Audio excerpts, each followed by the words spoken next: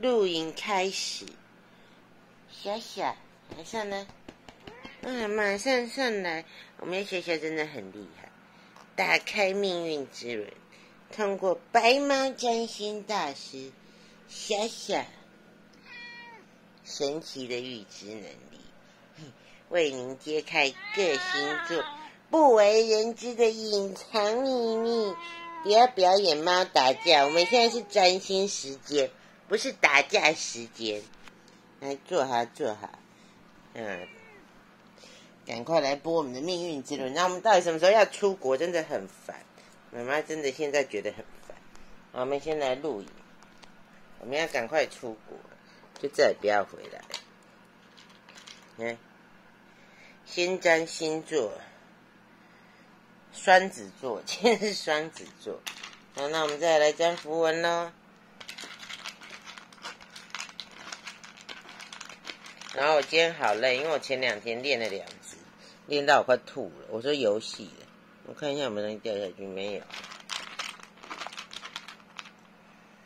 第一个符文是，我完全忘了这个是什么。那我们就再来粘第二个，还是要先找。啊，好，先找我先看一下是什么。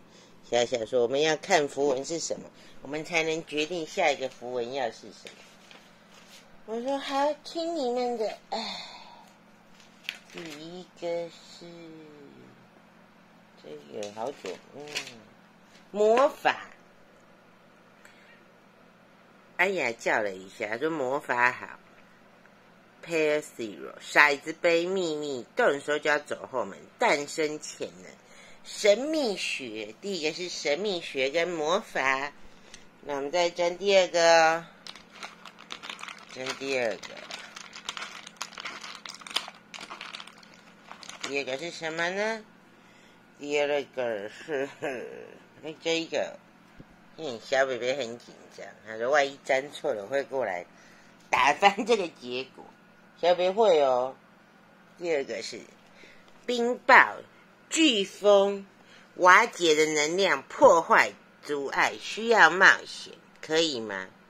可以哦，可以。他说我是冰雹，我是飓风。那所以这就是魔法加上飓风，瓦解的能量，破坏，可以哈，可以。看他们两个阻碍延迟。需要冒险，对我们有阻碍，我们有延迟，怎么办？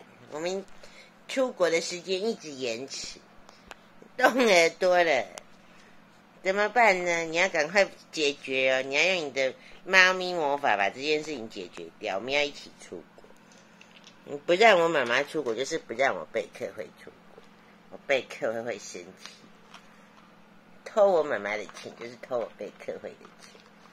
就是这样子，好，你要付出代价。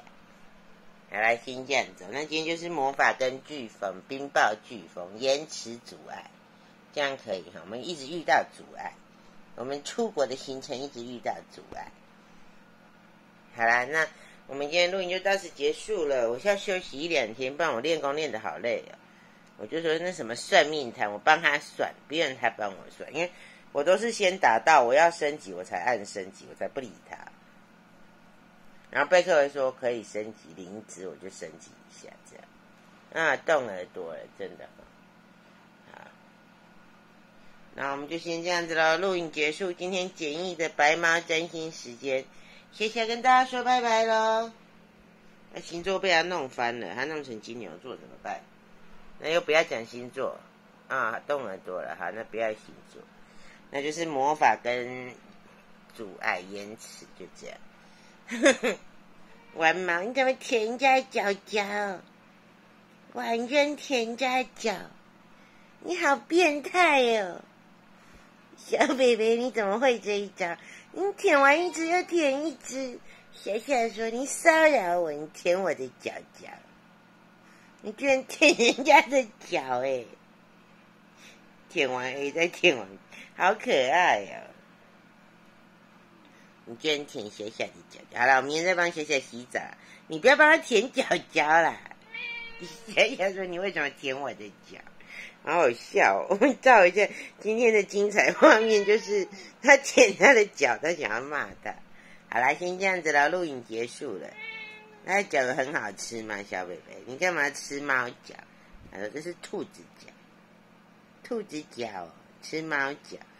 所以，各位你为什么一直做一些变态的行为？好啦，那我们录影到此结束了，谢谢各位的收看，拜拜。